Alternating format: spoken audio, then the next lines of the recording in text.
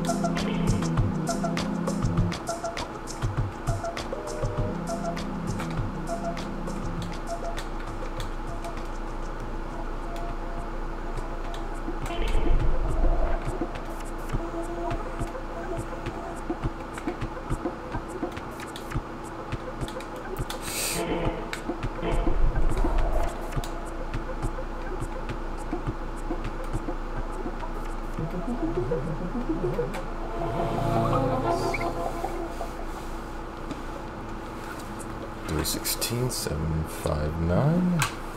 All right.